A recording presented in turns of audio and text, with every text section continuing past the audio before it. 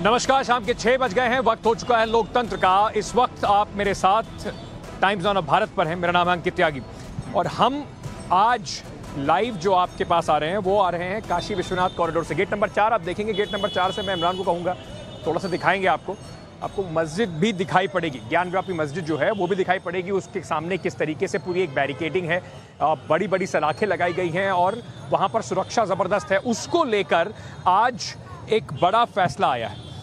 देखिए अभी निचली अदालत में यानी कि वाराणसी की जो डिस्ट्रिक्ट और सेशन कोर्ट है उसमें जब फैसला आया था कि यहाँ पर अंदर जाएँ यहाँ से अंदर जाएँ और इस दीवार के साथ साथ अगर मैं आपको दिखाऊँ यहाँ से थोड़ा सा तो वहाँ पर आ, अंदर जाके ये बात हुई थी कि यहाँ पे वीडियोग्राफी होनी चाहिए।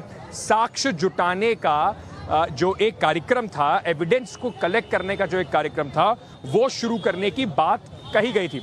उसको लेकर पिछले कई दिनों से बनारस में तरह तरह की बातें हो रही हैं तरह तरह की चर्चा हो रही हैं। यहाँ पर मस्जिद के जो पक्षकार हैं, उन्होंने पिछली दो बार में जब यहाँ पर जो कोर्ट द्वारा चिन्हित कमिश्नर थे, उनकी पूरी टीम थी, वो सब यहाँ पहुँचे तो उनको रोका, ज़बरदस्त विरोध किया, और वो अंदर जाकर जो कम से कम जो तहखाना था और जो बाकी जगह है, वहाँ पर वीडियोग्राफी कर ना सके।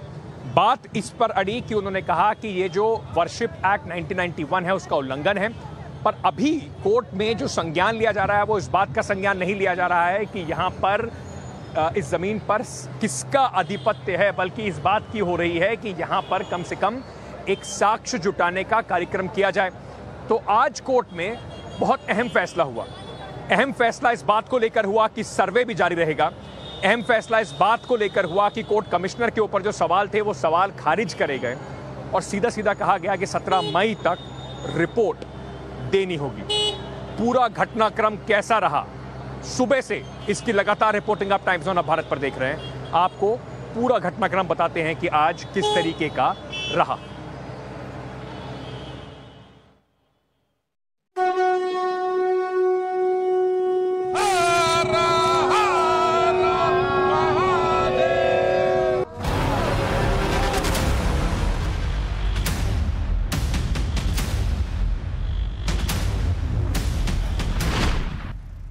ज्ञानवापी मस्जिद में सर्वे टीम को अपना काम न करने देना।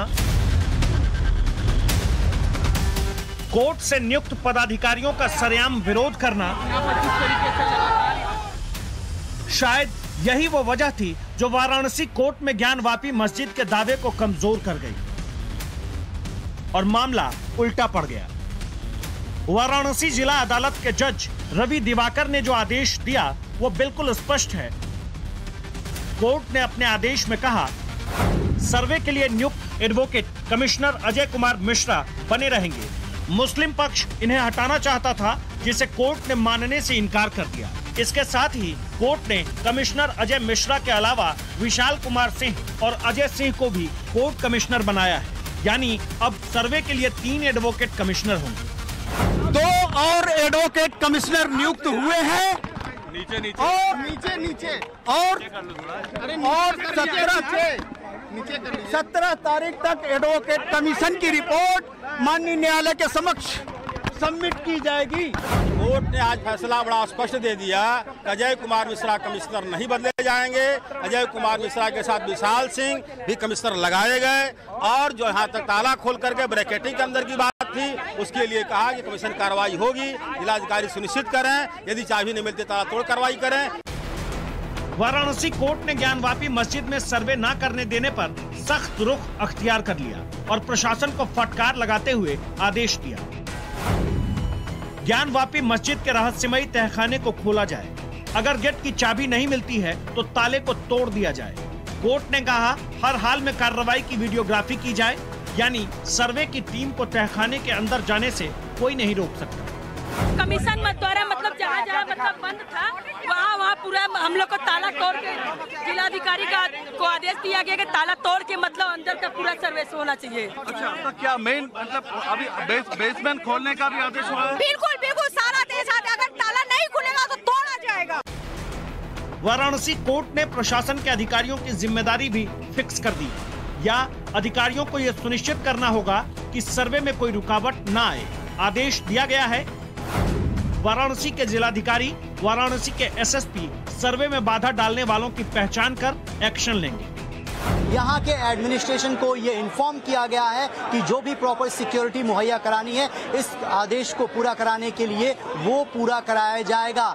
यानी जो कमीशन का अधूरा काम है, वो पूरा कराया जाएगा। जो पहला आदेश था कि जिसमें इस बात का ज़िक्र किया गया था कि अंदर जो वीडियोग्राफी है, वो की जाएगी जहाँ पर मुस्लिम समुदाय के लोगों ने, उनके पक्ष के लोगों ने कोर्ट कमिश्नर को अपनी कार्रवाई करने से रोका था। उस पर भी क्लियर कट आदेश कोर्ट की तरफ़ से दे दिया गया है। आरोप लगे कि सर्वे टीम को मस्जिद के अंदर काम करने नहीं दिया गया।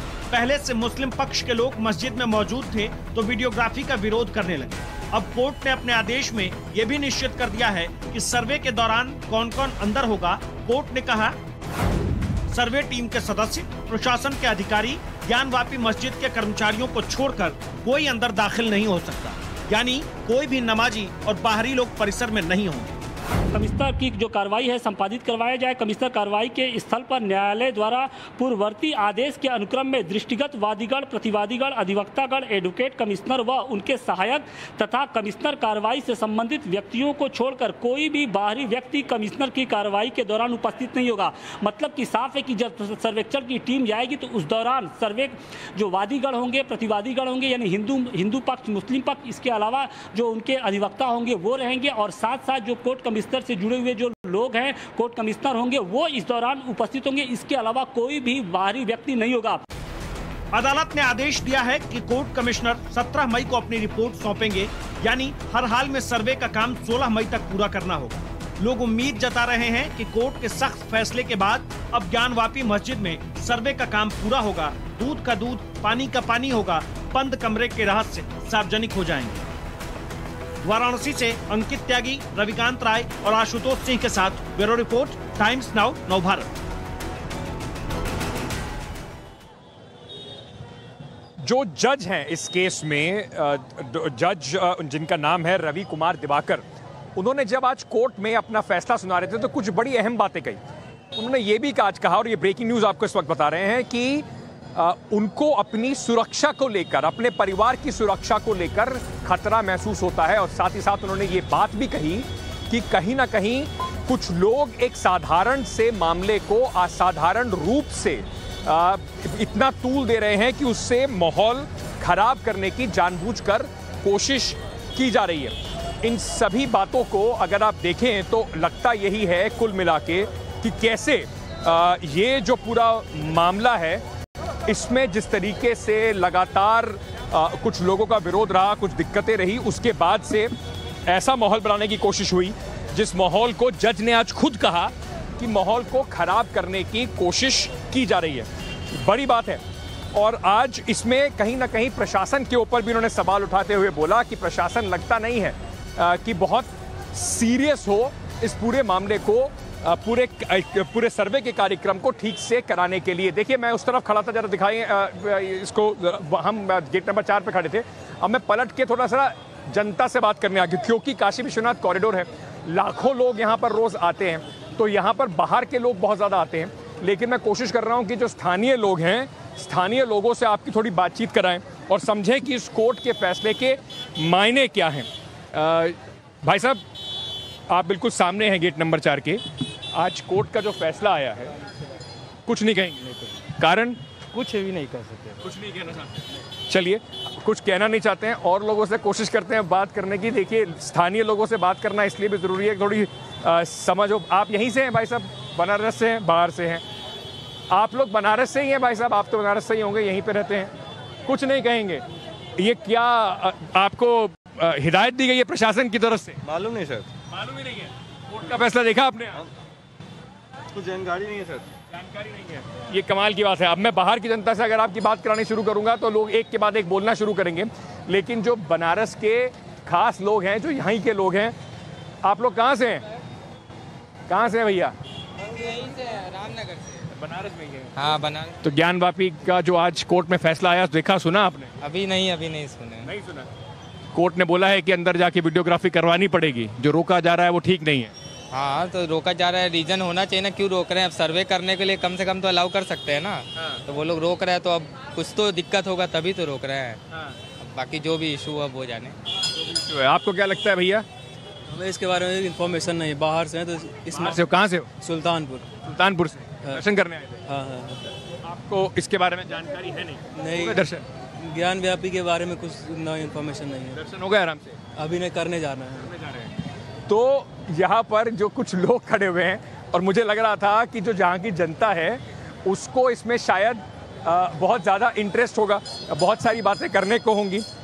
आपसे बात कर सकते हैं क्या भाई साहब? नहीं कर सकते। चलिए तो ये देखिए, एक बड़ी कमाल की बात है। और और ये मैं इसलिए भी आपको बताना चाहता हूँ, क्योंकि ये बिल्कुल ये गेट नंबर जो चार है, उसके सामने की दुकानें हैं। तो दुकानें हैं तो व्यापार है, और व्यापार है तो वहाँ पर इस बात की कोशिश की जाती है कि किसी ना किसी तरह के कंट्रोवर्सी में, यानी कि किसी ना किसी तरह की परेशानी में खुद ना पड़ा जाए। वो भाई साहब सर हिला रहे हैं, बात करने को मना कर रहे थे, लेकिन सर हिला रहे हैं खड़े खड़े अब मुस्कुरा भी रहे हैं, पर क्या करा जा सकता है? व्यापारी गणों के लिए सबसे ज़्यादा ज़रूरी व्यापार है। इसीलिए वो चाहते हैं कि इसके ऊपर कोई खास बातचीत ना हो, इसके ऊपर वो कम से कम अपनी प्रतिक्रिया ना दें, जो कानूनी प्रतिक्रिया है, वो होती रहेगी, कानूनी प्रक्रिया भी पूरी होती रहेगी। अब कल यहाँ पर आठ बजे इतना डिटेल में ऑर्डर आया है कि आठ से बारह के बीच में ये पूरा सर्वे कराया जाएगा। पर जैसे ही ये ऑर्डर आया, उसके बाद कहीं ना कहीं राजनीतिक दलों में, हलकों में बड़ी ज़बरदस्त हलचल हुई। सबने कहीं ना कहीं इसके ऊपर अपनी प्रतिक्रिया रखने की कोशिश करी। तो क्या राजनीतिक नूरा कुश्ती है इस पर सुन लीजिए। तो मुझको कोर्ट के ऊपर विश्वास था और नमः पार्वती पते, हर हर महादेव, हिंदू जनभावना उससे जुड़ा हुआ है। क्योंकि आप जब ज्ञान वापी परिसर को देखेंगे तो आपको सीधे दिखेगा कि यह पौराणिक मंदिर है। कानून व्यवस्था और शांति बनाए रखने का काम हमारा है और मुझे लगता है सौहार्द के साथ में वहाँ पर सर्वे भी होगा और सभी लोग उससे स्वीकार करेंगे सभी धर्मों के लोग और खास करके जो हमारे मुस्लिम समाज के वहाँ पर जो कमेटी के मेंबरान हैं वो भी उस फैसले के साथ जाएँगे। ऐसे आप रामदास को ले सकते हैं। तो आज पहली बार इस देश के अंदर एक ऐसा आंदोलन हो रहा है। ना सत्ता पाने के लिए हो रहा है और ना किसी सत्ता को गिराने के लिए हो रहा है। ये सत्ता के लिए संघर्ष नहीं है। ये वैचारिक संघर्ष है।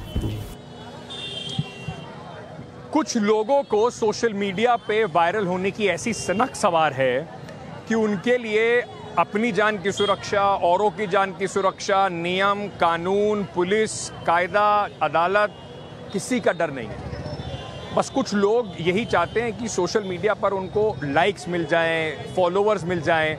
उसकी सनक ऐसी है कि कुछ भी कर गुजरने को तैयार है। गाजियाबाद से ये स्टोरी जरा जो आपके लिए लेकर आ रहे हैं, सोशल मीडिया पे अपनी जान को किस तरीके से खतरे में डालकर मीडिया और सोशल मीडिया पर सिर्फ़ थोड़े से वाहवाही बटोरने के लिए, पॉपुलर होने के लिए, देखिए क्या क्या तमाशे किए जा रहे हैं।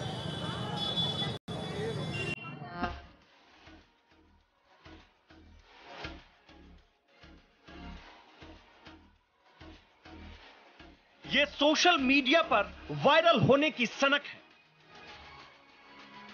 ये सोशल मीडिया पर व्यूज़ पाने की सनक है। ये सनक है मोहल्ले का स्टार बन जाने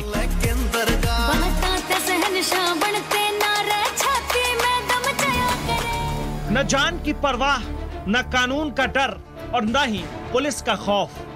ये जिला गाजियाबाद से आई सबसे सनक भरी तस्वीर है। बीच हाईवे पर पहले कार की रफ्तार देखिए। उसी रफ्तार में कार के पिछले हिस्से पर बैठे लड़के को देखिए। पीछे बैठकर तेज़ी से लहराते लाठी को देखिए। मौत को न्योता देने वाला गैर कानूनी काम।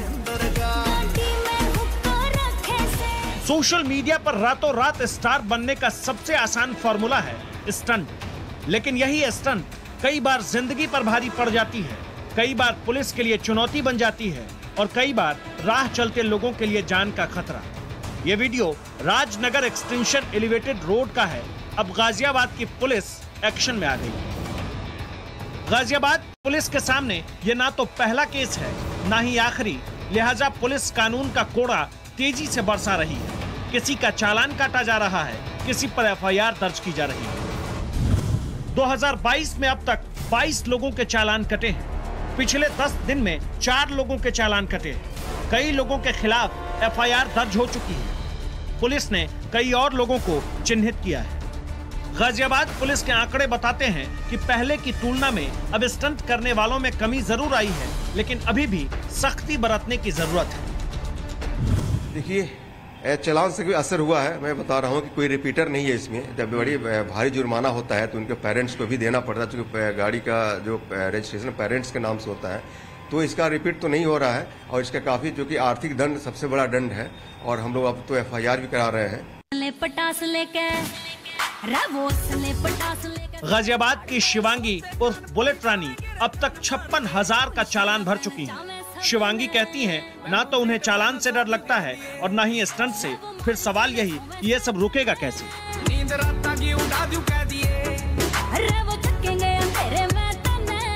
रही बात कि मैं चैलेंज करती हूँ पुलिस को इंस्टाग्राम पे या सोशल मीडिया प्लेटफॉर्म पे इतने सारे इन्फ्लुएंसर्स हैं मतलब गन्स के साथ और बाकी लोग भी डालते हैं। मतलब या तो ये चीज़ें पीछे से ही बंद कराओ, क्योंकि सॉन्ग्स में मूवीज़ में सब में यूज़ करते हैं तो वहीं से देख के बच्चे सीखते हैं। और मैं इतनी बड़ी नहीं हुई अभी ट्वेंटी टू मेरी एज है तो मतलब मैंने वहीं से देख के और मतलब अच्छा लगने लगा तो करने लगी। गाजियाबाद पुलिस प्रशासन के सामने सिर्फ़ स्टंट ही चुनौती नहीं है, एक चुनौती है चेन स्नेचिंग की। यह गाजियाबाद के इंदिरापुरम की तस्वीर है, जहाँ एक महिला बहुत आराम से अपने घर के बाहर टहल रही है। तभी अचानक से पीछे से एक लड़का आता है। बगैर किसी शोर शराबे के बुज़ुर्ग महिला के ठीक पीछे पहुँचता है।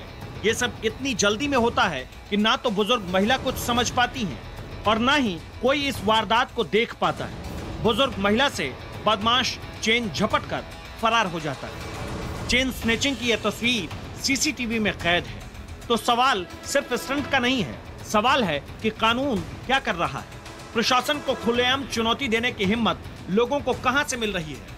हालाँकि गाजियाबाद की पुलिस अपनी तरफ़ से कार्रवाई का भरोसा ज़रूर दे रही है। ये अलग बात है कि अभी भी पुलिस को सख्ती बरतने की पूरी ज़रूरत है।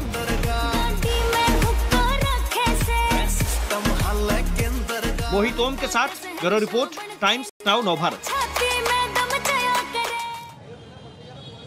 एक बहुत ही दर्दनाक ब्रेकिंग न्यूज़ इस वक्त, आ रही है जम्मू कश्मीर से। सीधे आपको इस खबर के पास लिए चलते हैं। जम्मू कश्मीर के बडगाम में कश्मीरी पंडित की गोली मारकर हत्या कर दी गई है। आतंकवादियों ने राहुल भट्ट नाम के एक व्यक्ति की गोली मारकर हत्या कर दी। है राहुल भट्ट को ऑफ़िस के अंदर गोली मारी गई है। बडगाम में तहसीलदार के दफ्तर में ये वारदात की गई है। तहसील क्लर्क राहुल भट्ट को गोली मारकर मार दिया गया है। तहसीलदार के दफ्तर में काम करते थे राहुल। आतंकवादी संगठन कश्मीर टाइगर ने इस हमले की ज़िम्मेदारी ली है। एक बार फिर से जो और हम देख रहे हैं पिछले कुछ दिनों से कैसे लगातार कोशिश की जा रही है कश्मीर के अंदर एक माहौल को बिगाड़ने की। जो वहाँ पर कश्मीरी पंडित हैं या हिंदू हैं जो बाहर से आए हुए हैं, उनको एक एक करके टारगेट करने की। और इस वक्त जो आप देख रहे हैं, ये एक और कोशिश है कहीं ना कहीं कि इस तरीके से पूरा माहौल को ख़राब करने की। एक और कश्मीरी पंडित की हत्या कश्मीर में इस वक्त कर दी गई है। दो बड़े सवाल इस पर खड़े होते हैं। एक, कि क्या फिर से इस तरह की साजिश हो रही है और सुरक्षा के क्या इंतज़ाम किए जा रहे हैं कि ऐसे लोगों को उनके सही अंजाम तक पहुँचाया जा सके? चलिए, अब आपको लिए चलते हैं मध्य प्रदेश। मध्य प्रदेश में कांग्रेस का जो यूथ विंग है, वो एक बार फिर जागा। ज़बरदस्त दहाड़ लगाई और दहाड़ लगाई महँगाई के विरोध में। पेट्रोल डीजल के बढ़ते दाम, एलपीजी सिलेंडर के बढ़ते दाम को लेकर आज मुख्यमंत्री के, शिवराज सिंह चौहान के घर के घेराव की कोशिश की यूथ कांग्रेस ने। और इतनी गर्मी में कम से कम उनके लिए राहत वाली बात यह थी कि उन पर जमकर वाटर कैनन का इस्तेमाल किया गया। लेकिन एक ज़बरदस्त प्रदर्शन कम से कम महँगाई के खिलाफ आज कांग्रेस का मध्य प्रदेश में दिखाई पड़ा।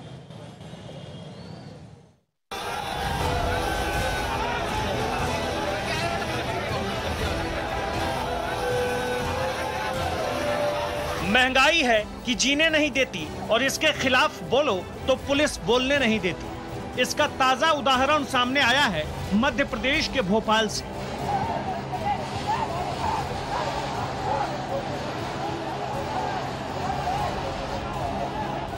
भोपाल में युवा कांग्रेस ने हल्ला बोल युवा शंखनाद नाम से प्रदर्शन शुरू किया तो पहले बैरिकेड्स लगाए गए, फिर पुलिस वाले सामने आए फिर भी प्रदर्शन नहीं रुका। महँगाई, बेरोजगारी के खिलाफ आवाज़ धीमी नहीं हुई तो पानी की तेज धार से प्रदर्शनकारियों को रोकने की कोशिश की गई।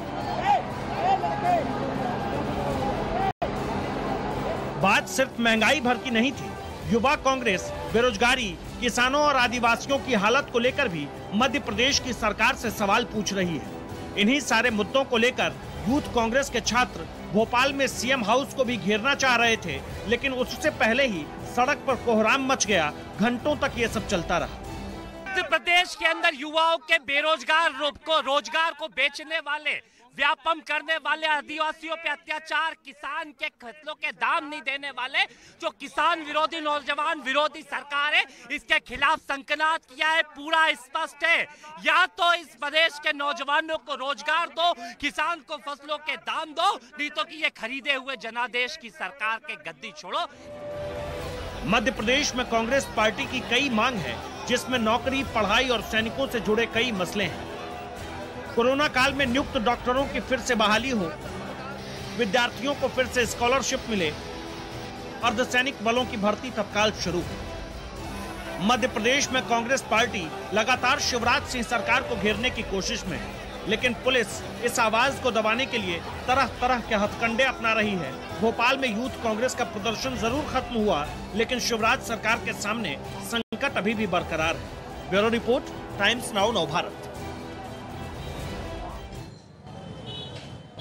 चलिए अब रुक करते हैं राजस्थान का। दिक्कत यह है कि राजस्थान की आजकल जब भी खबर लेकर आते हैं, खबर हमेशा कुछ परेशानी भरी होती है और एक बार फिर से वही हो रहा है। कल भीलवाड़ा में दो समुदाय के बीच में लड़ाई हो गई थी। राजस्थान में बार बार इस तरीके की माहौल बिगाड़ने की साजिशें सामने आ रही हैं। और अब हनुमानगढ़ में भी ऐसा ही हुआ। दो समुदाय आपस में भिड़ गए। काफ़ी देर तक पत्थरबाजी, काफ़ी देर तक वहाँ पर इस तरीके की घटनाएँ होती रही। अब सवाल ये उठता है कि राजस्थान सरकार क्या इन सब चीज़ों को लेकर गंभीर नहीं? क्योंकि अगर गंभीर होती तो जो बार बार वो दावे करते हैं कि साजिशन ये हो रहा है तो साजिश को रोकने का, जो लोग इस साजिश के पीछे हैं, उनको पकड़ने का ज़िम्मेदारी भी तो अशोक गहलोत सरकार की है। और अगर सरकार अपनी ज़िम्मेदारी से पीछे भाग रही है तो उसका ठीकरा किस पर फोड़ा जाए?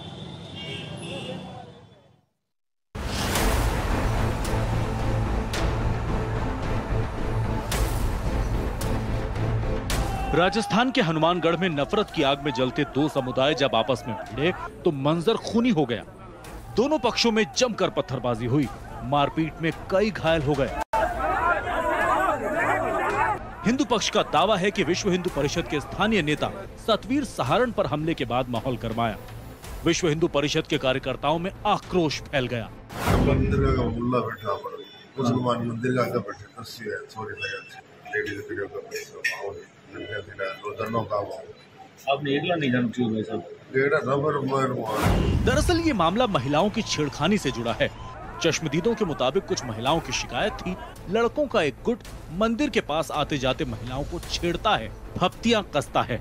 इस शिकायत के बाद विश्व हिंदू परिषद के स्थानीय नेता सतवीर सहारण मौके पर पहुँचे। जब सतवीर ने उन युवकों से पूछताछ की तो उन्होंने झगड़ा शुरू कर दिया। और लोहे की रॉड से सतवीर के सिर पर वार कर दिया, जिससे वो गंभीर रूप से घायल हो गए।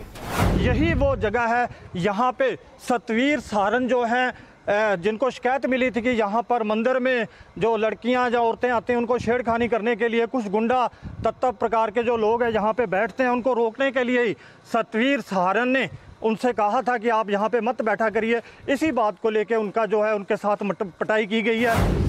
घटना के बाद बजरंग दल और विश्व हिंदू परिषद के कार्यकर्ताओं ने नोहर रावत सर सड़क को जाम कर दिया।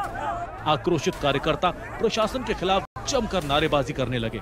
वीएचपी के महानगर अध्यक्ष अनिल शर्मा का आरोप है कि सरकार की तुष्टीकरण की नीति की वजह से प्रदेश में इस तरह की घटनाएँ बढ़ती जा रही हैं। और अब पानी सिर के ऊपर से गुजरने वाला है। अब प्रशासन की इस नीति के खिलाफ सरकार की इस नीति के खिलाफ सभी जगह ज्ञापन दिए जाएँगे। पूरे प्रांत में विश्व हिंदू परिषद ज्ञापन देगा और इस घटना का कड़ा विरोध करेगा और समाज से ये आग्रह करेगा कि समाज को अब इस जो तुष्टिकरण की ये जो नीति अपना के कांग्रेस सरकार काम कर रही है उसके खिलाफ मुखर होकर के समाज को हिंदू संगठनों के साथ आना चाहिए। उधर आनंद फानन में हालात को संभालने के लिए जिला प्रशासन एक्शन में आया। शहर में पुलिस ने फ्लैग मार्च निकाला। मौके पर अतिरिक्त सुरक्षा बल तैनात किया गया। एसजी, आईजी, कलेक्टर समेत अधिकारियों की पूरी फौज मौके पर पहुँची। अफवाहों को रोकने के लिए इलाके में इंटरनेट को बंद कर दिया गया। जिला प्रशासन ने अफवाहों से सावधान रहने की अपील की है। घायल वीएचपी नेता सहारण का बीकानेर में इलाज चल रहा है। पुलिस ने अब तक आठ लोगों को गिरफ़्तार कर लिया है। मौके पर सभी अधिकारी एसडीएम सीओ हम पहुँच गए हैं। स्थिति नियंत्रण में है। और जो भी सामाजिक तत्व है, उनको गिरफ़्तार करने के प्रयास किए जा रहे हैं। लेकिन बड़ा सवाल ये, राजस्थान में गड़बड़ी कौन फैला रहा है? एक के बाद एक शहरों में दंगे क्यों हो रहे हैं? पुलिस का खुफिया तंत्र क्या कर रहा है? दंगों की साजिश की खबर पुलिस को पहले क्यों नहीं लगती? मुख्यमंत्री कहते हैं इसके पीछे राजनीतिक वजह है। तो सवाल उठता है कि कौन राजनीति कर रहा है? सरकार उसके बारे में जानकारी रखती है तो एक्शन क्यों नहीं लेती? ब्यूरो रिपोर्ट, टाइम्स नाउ, नव भारत। तो बड़ा सवाल यही है। ज़िम्मेदारी आखिरकार सरकार की बनती है। कोई भी इसके पीछे हो, सरकार को सख्ती से निपटना ज़रूर चाहिए। छोटा सा ब्रेक इस वक्त ले रहे हैं। लोकतंत्र में वापस आ रहे हैं। बहुत सारी खबरें अभी आपके लिए और भी। जो ये जो ज्ञान व्यापी मस्जिद का विवाद है, ये पुराना एक विवाद है, पर कुछ लोगों को नए नए विवाद खड़ने में खड़े करने में भारत में आज कुछ महारत हासिल हो गई है। ऐसे कुछ लोगों के लिए आज कम से कम इलाहाबाद हाईकोर्ट की लखनऊ बेंच ने एक करारी फटकार लगाई है। भारतीय जनता पार्टी के एक नेता हैं, जिनका नाम है रजनीश सिंह। इन्होंने एक याचिका दायर की थी इलाहाबाद हाईकोर्ट में लखनऊ बेंच के सामने कि ताजमहल के 22 दरवाजे खोलकर उसकी जाँच की जाए, क्योंकि ये भी कह रहे हैं कि ये ताजमहल नहीं है, तीजो महल है। अब इस पर कोर्ट ने उनको ज़बरदस्त फटकार लगाते हुए उनकी याचिका को खारिज भी किया और साथ ही साथ कहा कि पीआईएल का जो सिस्टम है, उसका दुरुपयोग ना करें। कोर्ट ने यह भी कहा कि ताजमहल पर जाके रिसर्च कीजिए, यूनिवर्सिटी जाइए, पीएचडी कीजिए, रिसर्च में अगर कोई रोक लगाए तो कोर्ट में आइए। इतिहास आपके मुताबिक नहीं पढ़ा जाएगा, ताजमहल कब बना था, किसने बनवाया था, जाकर थोड़ा ज्ञान अर्जित कर लीजिए। हालाँकि याचिकर्ता ने हाईकोर्ट के फैसले पर नाखुशी जताते हुए कहा है कि वो सुप्रीम कोर्ट ज़रूर जाएँगे। लेकिन कहीं ना कहीं कुछ लोग जो इस तरीके के बयानों को तूल देते हैं और आ, असली यूनिवर्सिटी से ज़्यादा जो व्हाट्सएप के फॉरवर्ड आते हैं व्हाट्सएप यूनिवर्सिटी की बड़ी चर्चा है उन लोगों के लिए कम से कम ये सबक ज़रूर है। पर इस, इस देश के अंदर राजनीतिक मायने हर चीज़ के होते हैं। अब भारतीय जनता पार्टी की नेता दिया कुमारी ने ताजमहल को लेकर एक नया विवाद छेड़ दिया है। उन्होंने कहा है जिस ज़मीन पर ताजमहल बना है वो ज़मीन किसी ज़माने में उनके पुरखों की होती थी।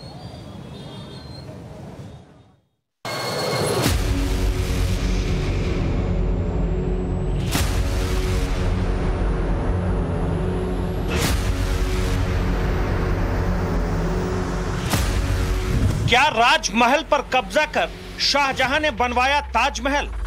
ये पैलेस था। और शाहजहां ने इस पे कब्जा किया। क्या जयपुर राज परिवार की ज़मीन पर मुगलों ने अतिक्रमण किया? जयपुर पूर्व राज परिवार की ज़मीन थी। क्या मुमताज़ के मकबरे के 22 बंद कमरों में मंदिर है? कमरे खोले जाने चाहिए कुछ कमरे हैं जो बंद हैं कुछ पार्ट है ताजमहल का जो बंद है सील्ड है। दुनिया जानती है मुगल बादशाह शाहजहां की मोहब्बत बेगम मुमताज़ महल की निशानी है ताजमहल लेकिन इसके हिंदू मंदिर और तेजो महालय होने के दावों के बीच जयपुर राजघराने की राजकुमारी और बीजेपी सांसद दिया कुमारी ने बड़ा दावा किया। दिया ने ताजमहल को अपने पूर्वजों का राजमहल करार देते हुए इस पर मुगल बादशाह शाहजहां के कब्जे को अवैध ठहराया है।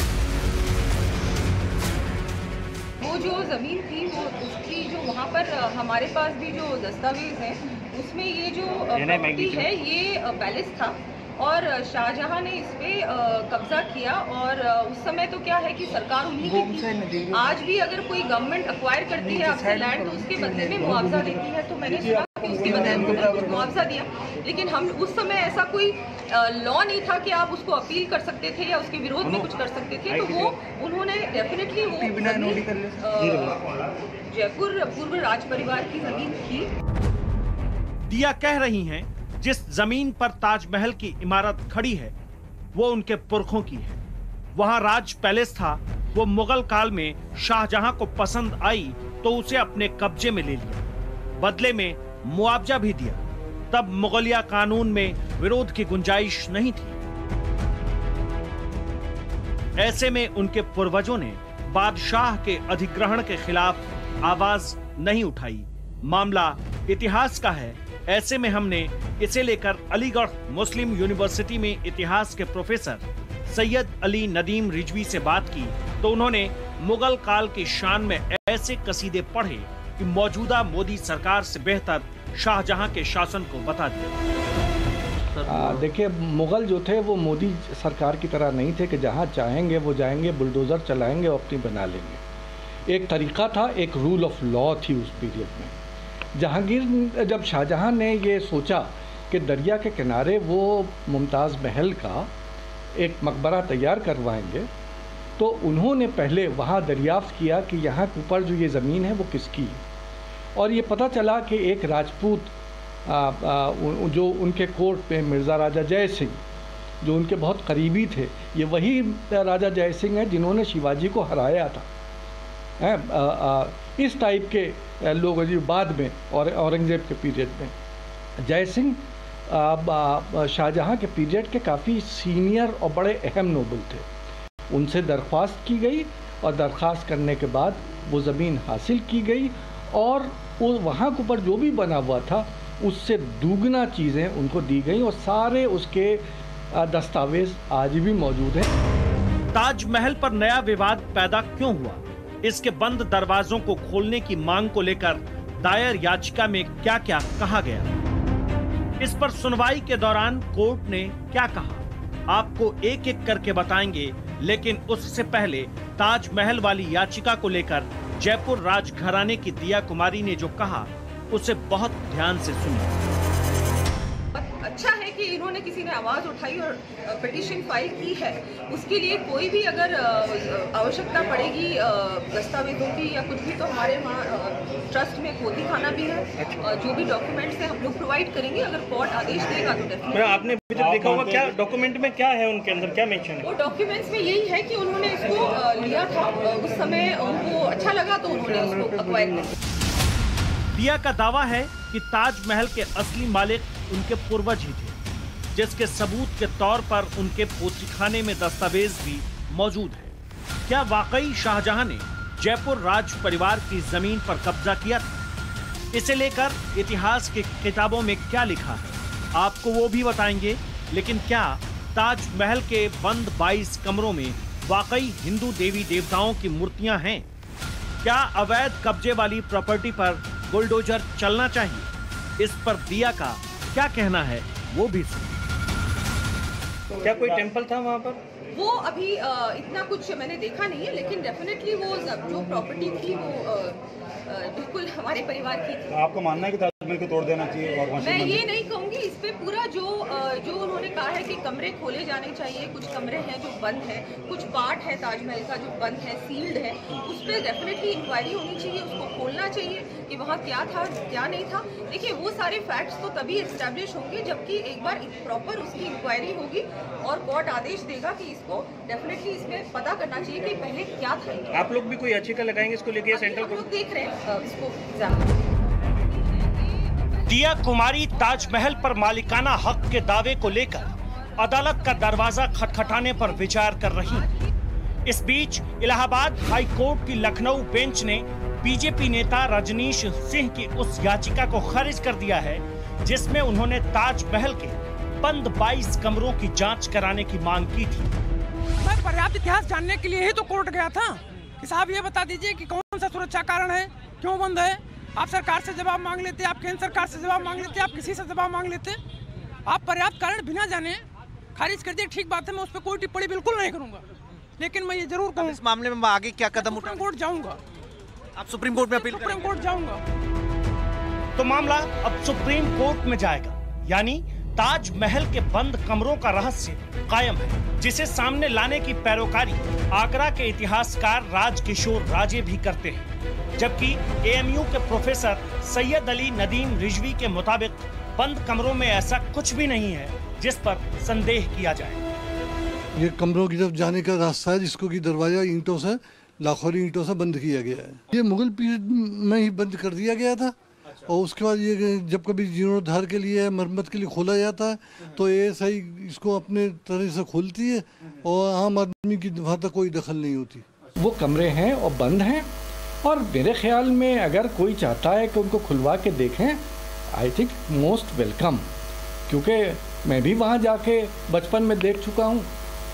अगर किसी और को शौक है, वो तो आपकी सिक्योरिटी के लिए, ताजमहल की बिल्डिंग की स्टेबिलिटी के लिए उसको बंद करा दिया गया था। अगर कोई देखना चाहता है तो उसमें कोर्ट से क्या, वो एएसआई से कहें, वो खुलवाएँ वो देख लें जाके।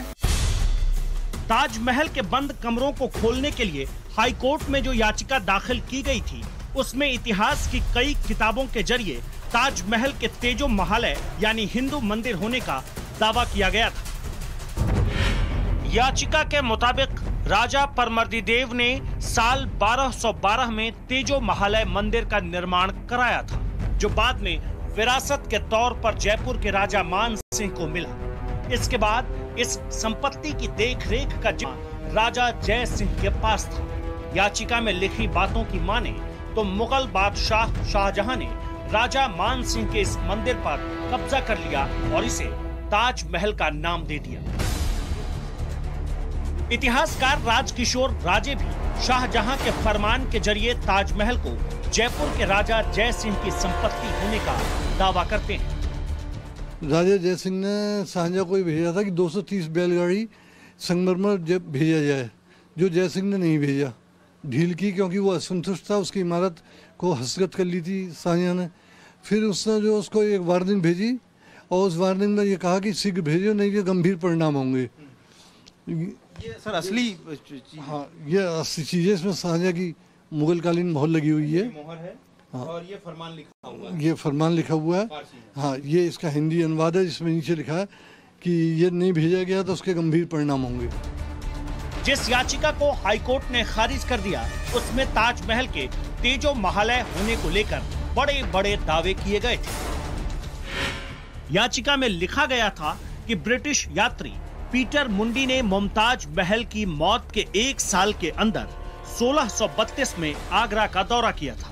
इस दौरान उन्होंने दावा किया कि सोलह में ताज महल का निर्माण पूरा होने से पहले भी उस जगह पर मशहूर इमारत थी। याचिका में जोहान अल्बर्ट की किताब लाइफ इन आगरा का भी हवाला दिया गया है, जिन्होंने 1638 में आगरा की यात्रा की, लेकिन अपनी किताब में ताजमहल के निर्माण का ज़िक्र तक नहीं किया, जबकि ऐसा माना जाता है कि ताजमहल का निर्माण 1631 से सोलह तक हुआ था। शाहजहां के शहजादे औरंगज़ेब की एक चिट्ठी के ज़रिए भी ताजमहल से पहले वहाँ किसी इमारत के होने के दावे किए जाते हैं, जिसकी एक कॉपी इतिहासकार राजकिशोर राजे भी दिखाते हैं। औरंगज़ेब के खत का तीन किताबों में भी ज़िक्र किया गया वो किताबें हैं, आदाबे आलमगिरी यादगार नामा और मुरक्काए अकबरबादी। सोलह सौ बावन के उस खत में औरंगज़ेब ने अपनी अम्मी मुमताज़ के मकबरे में जगह जगह रिसाव की बात लिखी थी। इमारत की उत्तरी दिशा में तो गुंबद में दरार तक आने का ज़िक्र किया था। हाँ इससे जो संदेह पैदा होता है कि ये कोई पूर्ववर्ती इमारत है जो काफ़ी पहले बनी थी और बाद में वो मकबरे में तब्दील की गई। तो उस समय तक उसकी जीर्ण सी हालत थी, उसमें मरम्मत की ज़रूरत थी और उसके लिए औरंगज़ेब ने अपने पिता को खत लिखा था। इतिहासकार पी एन ओक ने भी ताजमहल पर एक किताब लिखी थी, ताजमहल, द ट्रू स्टोरी। इसमें दावा किया गया कि इसका निर्माण 1155 में हुआ, न कि 17वीं शताब्दी किताब के मुताबिक मुगलों के हमले से काफ़ी पहले इस ढांचे का निर्माण हुआ था। इस किताब में ताजमहल को संस्कृत शब्द तेजो महालय का अपभ्रंश बताया गया है। उसके मध्य भाग की बनावट इस तरह की है कि वहाँ शिव मंदिर होने की संभावना है, क्योंकि ऊपर जो उसमें कलश रहता था और ये भी एक किबदंती चली आ रही है, जो कि उससे जो कि एक एक बूंद पानी टपकता था। हालाँकि ये पानी एक एक बूंद टपकता हुआ नहीं देखा, लेकिन पानी तो हमेशा शिवलिंग पर ही टपकता है। लेकिन एएमयू के इतिहासकार मानवेंद्र कुमार पुंडी ताजमहल के हिंदू मंदिर तेजो महालय होने के दावे को सही नहीं मानते अभी इस ये इस टाइप के लीगल केसेस या रेट वगैरह की जाती हैं, लेकिन अभी उन 20 कमरे के बारे में कि मूर्तियाँ निकलेंगी, ये कोई अभी तथ्य, यानी कोई सच्चाई नहीं है किसी भी टाइप की। ना तो अभी उनका सर्वे हुआ। इवन मैं बीइंग ए आर्ट हिस्टोरियन मैंने पिछले 30 साल इसमें लगाए, लेकिन आज तक मैं उन कमरों में नहीं गया। और मुझे नहीं लगता उनमें मूर्तियाँ निकलेंगी। ताजमहल और तेजो महालय विवाद पर शंकराचार्य स्वामी निश्चलानंद सरस्वती ने जो कहा उसे सुनना भी ज़रूरी है। ताजमहल के नाम पर जो कब्र आदि की गाथा है इतिहास से बिल्कुल कृत्रिम इतिहास। उसका नाम था तेजो महालय समझ गए? तेजो महालय था वो हमारी कृति थी अद्भुत कृति थी। उसको किसी और रूप में परिणत किया गया। वो ऐतिह्य तथ्य नहीं है, वो बर्बरता का द्योतक है। तेजो महालय के रूप में ताजमहल का उद- उद्भाषण उचित है, स्वतंत्र भारत में होना ही चाहिए। लेकिन सद्भाव पूर्वक संवाद के माध्यम से जितना काम बने, उतना अच्छा है। तो शंकराचार्य ताजमहल को प्राचीन शिवालय बता रहे हैं। वो भी इसके सबूत के तौर पर जयपुर राजघराने में दस्तावेज़ मौजूद होने के दावे करते हैं। लेकिन इस पर आगरा के लोग क्या कहते हैं वो भी सुनो। पूरा विश्व जानता है सारा संसार के इस देश को जो है ताजमहल रहने दिया जाए और जितने भी सैलानी आते हैं केवल ताजमहल देखने के लिए आते हैं। हमारे देश की भारत देश की एक इमारत है खूबसूरत इमारत है इस सब विश्व के अंदर नाम है। इसलिए यहाँ पर जो आदमी आता है जो भी टूरिस्ट आता है बाहर से परदेसी वो एंजॉय करना आता है यहाँ पे कोई विवादों में घिरने के लिए नहीं आता। अरे यहाँ पे जो छुपाया गया है जो भोले बाबा के जो पिंडी है तेजो महल में जिसको ताजमहल बना दिया है भोले बाबा हम जो 20 कमरे उनको खुलवाना चाहते हैं कोर्ट के थ्रू खुलवाना चाहते हैं हम ये नहीं है कि कोई कानून हम हाथ में ले कि अगर किसी तरीके से इसमें मंदिर भी मंदिर अगर निकलता है तो ताजमहल की जगह तेजो महल कर दिया जाए जो इसी तरीके से रहेगा बसर जो हो जाएगा इसके अंदर शंकर जी की पिंडी सामने आ जाएगी। तो एक पक्ष ताजमहल को मकबरा ही मानता है, जबकि दूसरा पक्ष इसे तेजो महालय करार दे रहा है। लेकिन सच ये भी है कि 2015 में केंद्र सरकार ने भी साफ़ कर दिया था कि आगरा में ताजमहल के हिंदू मंदिर होने का कोई सबूत नहीं है। ऐसे में अब इस ऐतिहासिक धरोहर पर विवाद कितना जायज़ है, आप खुद समझिए और तय कीजिए। आगरा से गौरव श्रीवास्तव के साथ ब्यूरो रिपोर्ट, टाइम्स नाउ, नव भारत।